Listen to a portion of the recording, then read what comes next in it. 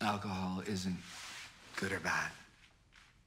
But the version of me that would come out when I had enough to drink, he was bad. He was selfish and careless, and he ruined my life. There was a saboteur inside of me. And I always thought we'd, you know, we'd work it out. We, we learn to live with each other because he wouldn't really hurt me. Not me. I fed him, so he wouldn't hurt me. And then one morning I woke up and found out he had killed someone.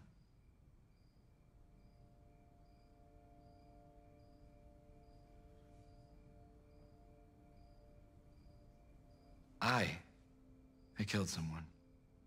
So who's to blame there? I am to blame there.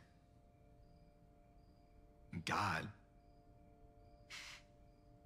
But he just kind of let it happen, didn't he? See, that that's the part I cannot square. Because you're right, there's there's so much suffering in the world. So much. And then there's this higher power. This higher power who could erase all that pain, just wave his hand and make it all go away, but doesn't? No. No, thank you. The worst part is that it lets all the rest of us off the hook.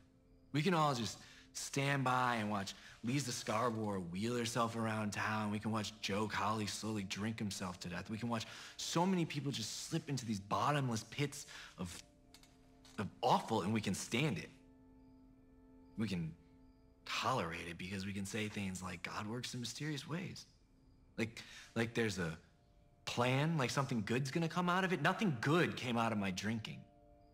Nothing good came out of me killing that poor girl. Nothing good came out of Joe Collie's drinking, and not a single good thing comes out of Leeza never being able to walk again. Nothing good came out of a metric ton of crude oil filling up the bay. And the only thing, the only fucking thing that lets people stand by watching all this suffering doing nothing, doing fucking nothing, is the idea that suffering can be a gift from God.